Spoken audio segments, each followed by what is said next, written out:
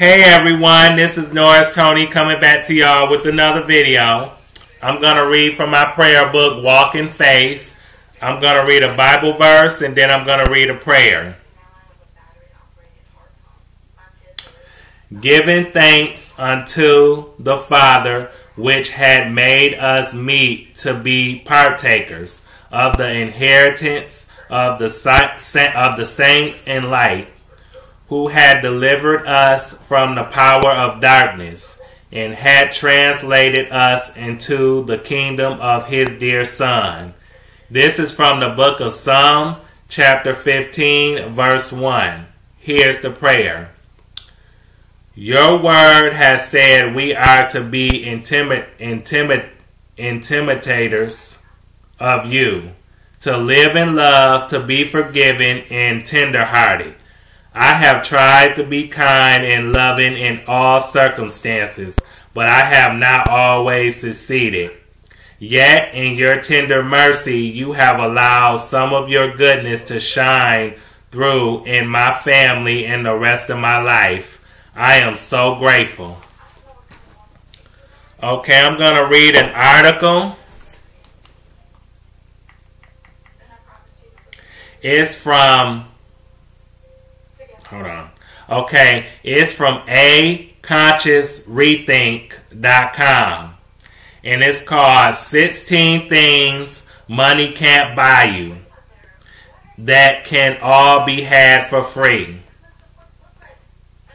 It's a safe bet that most of us have had the if I had enough money daydream of personal fulfillment as a social contract as a social construct money can do wonderful things it lets you buy movie tickets with friends facilitates dates allows you or allows for the purchase of ingredients to make homemade soup but let's never pretend we can't and don't enjoy the company of friends without it.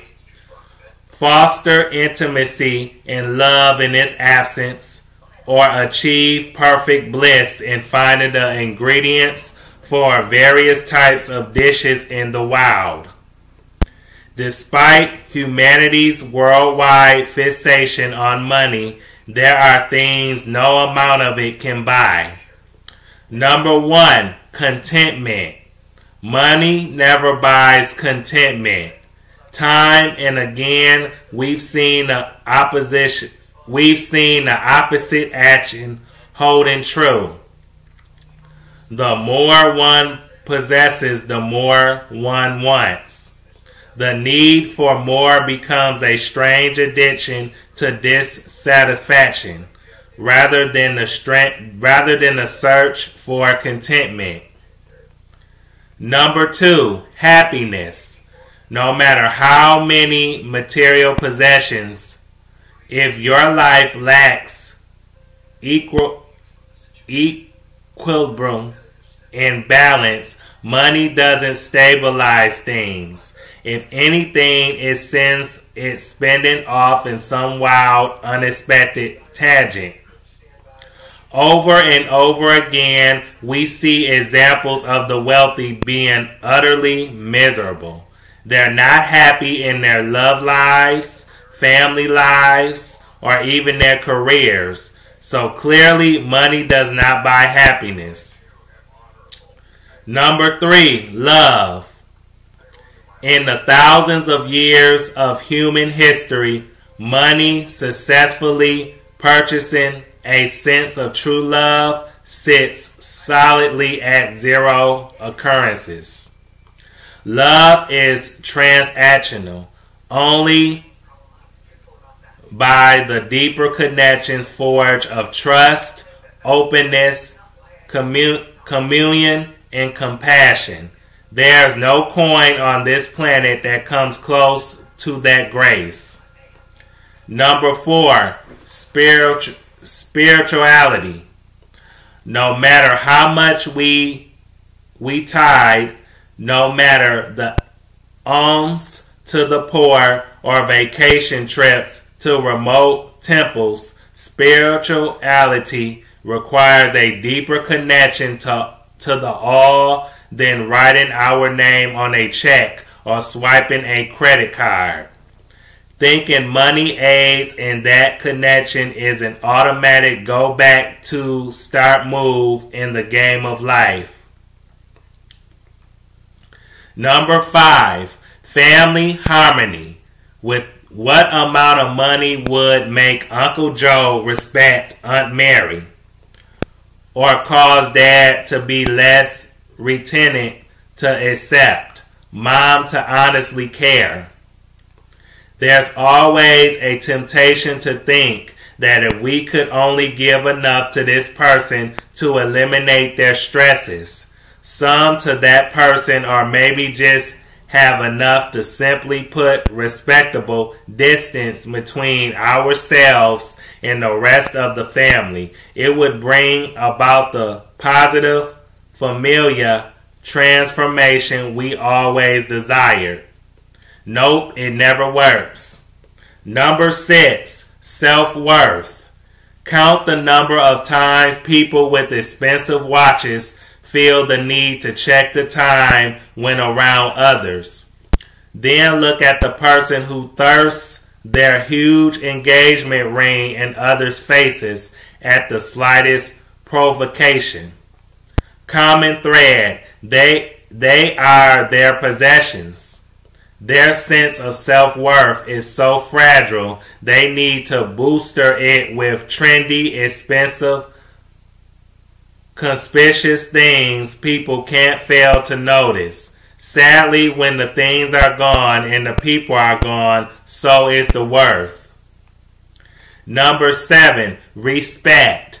The rich blow hard, crow- crowing to fawning crowds about the greatness he's achieved in such a clique.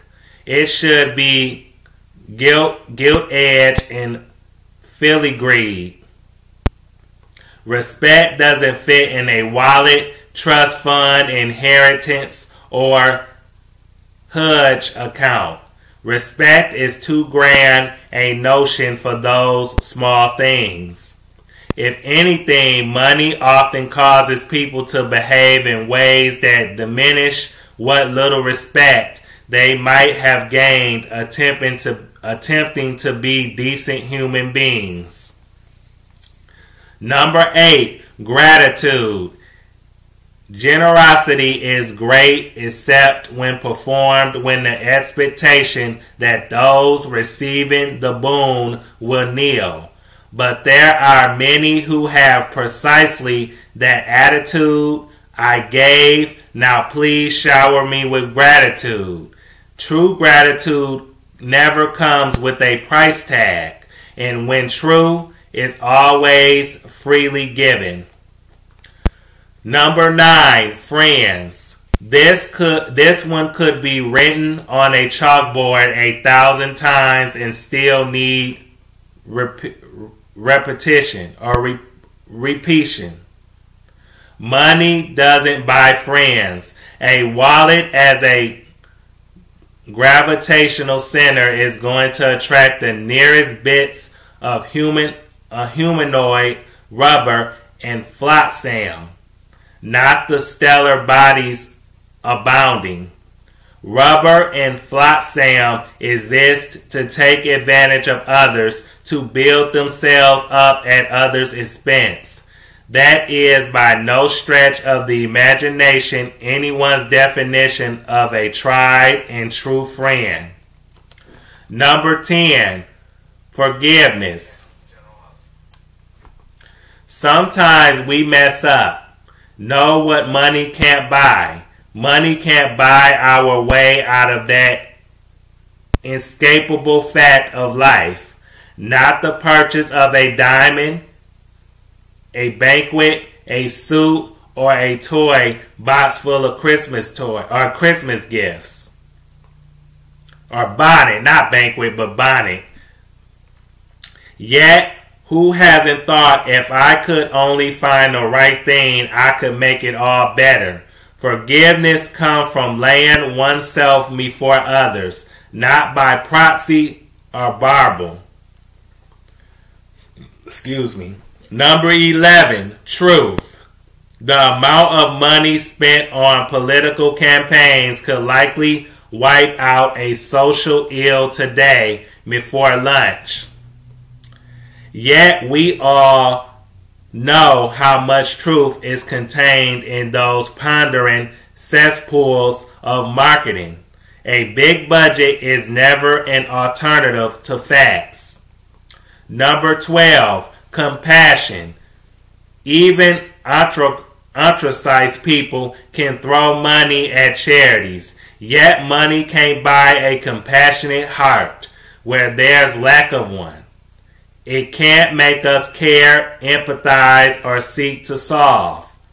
At best, money can elevate certain ills, the ills which our systems of, elect, of economics themselves create. But compassion is the act of dismantling, dismantling the barriers between perception and the sufferings of others, not shifting cash allotments. allotments. Number 13, connection.